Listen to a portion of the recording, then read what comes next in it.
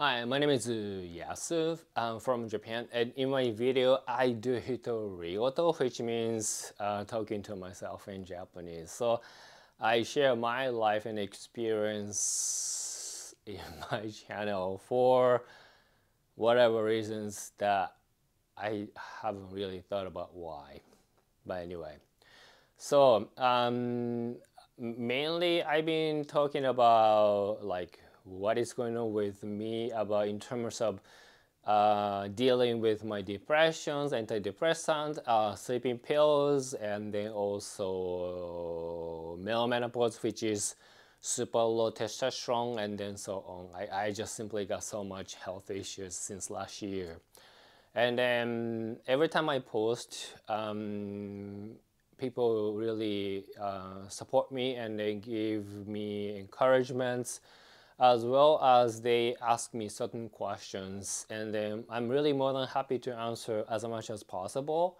It helps me in a way and it helps me to feel um, whatever I'm going through is not wasting my time. So uh, today I want to answer to the question which is that um, yeah so when you take uh, Effexor and venlafaxine uh, do you experience uh, sexual dysfunction, which is one of the uh, side effects uh, for Effexor, uh, by Effexor and venlafaxine.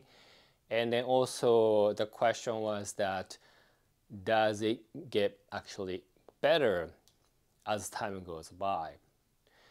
And then the answer is I think so, but I'm not quite sure. In my case, um, because um,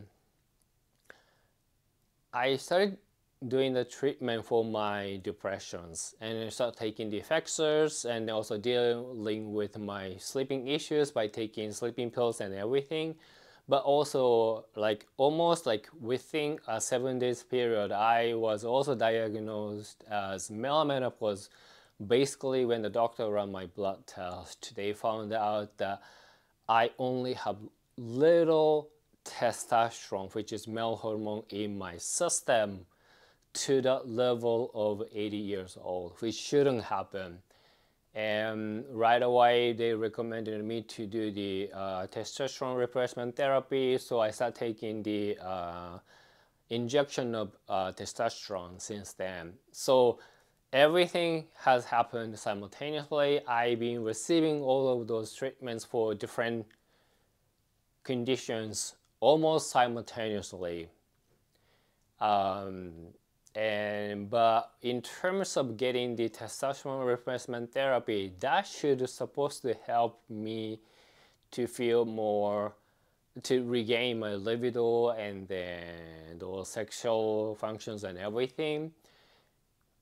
But one more complicated situation is that two months before I went through major surgery and everything, uh, they put me in the general anesthesia and I was hospitalized for seven days and they cut me open here like 20 centimeter to remove the uh, tumors.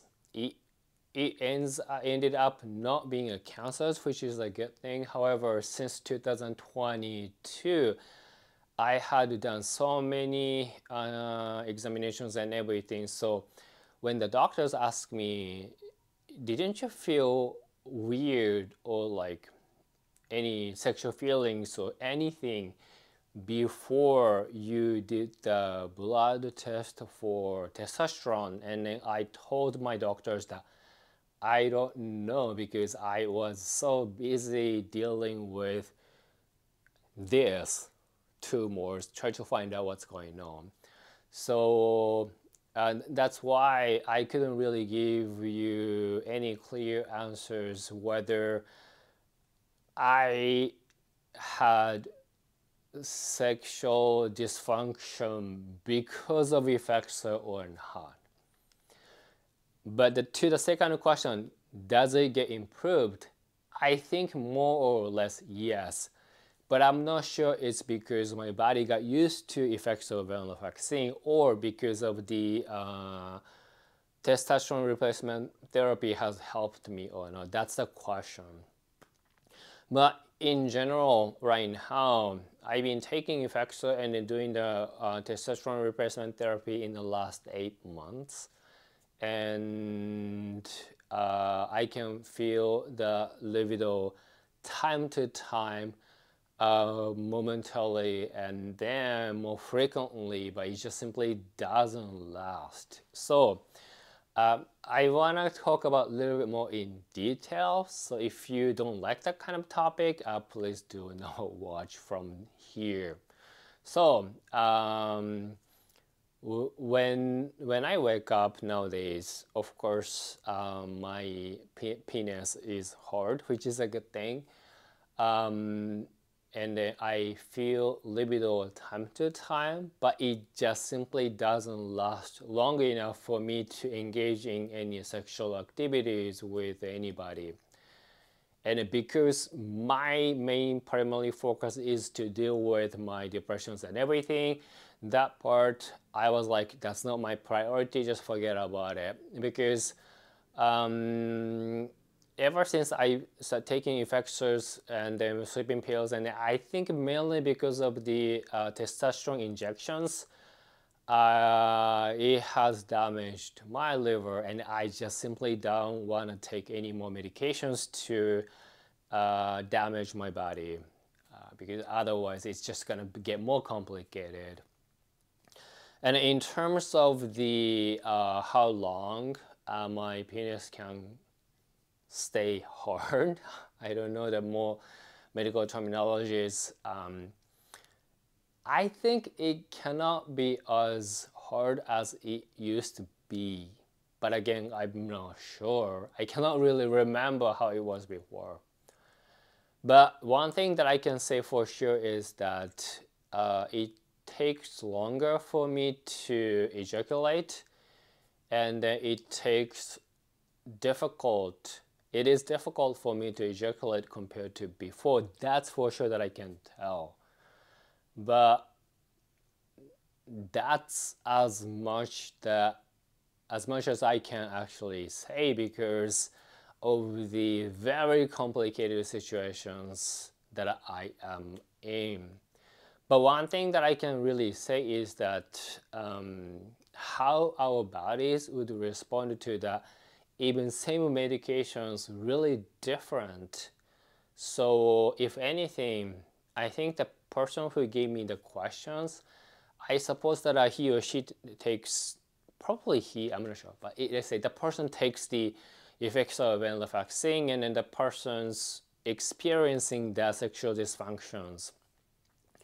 If that's the case for you, for anybody, um, please con- you just talk to your physician doctor and then tell your doctors that what you're going through, what is your concern, and how you want to improve the situations. Because um, if you hold it to yourself, do nothing, and even thinking about it, that means you care about that situations or that dysfunctions, and then also what's going to happen to you in the future does it get improved or not? And then also that might put you in some kind of uh, unpleasant situations based on your social or uh, people con yeah social context. And that's that's bad. That's something that you shouldn't experience. So if situation would allow you, I really recommend you to talk to your doctor and then they can really give you some options. In my case, it's just that too many things going on at the same time and then the blood test shows that my liver has been damaged and then I had to make a choice about how to prioritize what to deal with first and then I just simply gave up on the sexual dysfunction part. I can deal with probably later on, not right now, because right now the major things that I really want to focus is on my depressions and then sleep issues. I really, really don't want to suffer from insomnia anymore. Anyway, I hope that's not too much information. And I hope somehow that gives you guys some kind of directions. But as always, uh, I really don't want you to go through the same situations that I'm going through.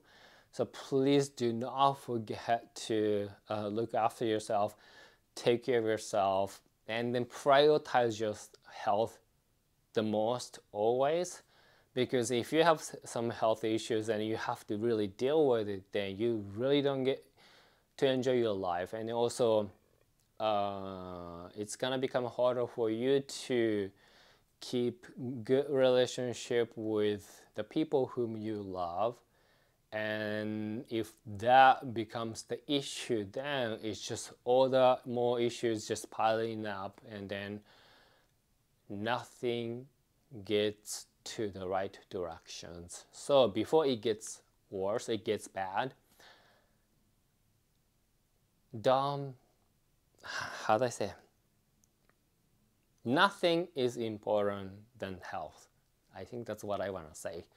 So please take care of yourself and thank you for watching my video. Thank you for watching my video and then if it's okay with you, please follow my channel. No, subscribe to my channel. I think that's it for now. じゃあね、バイバイ。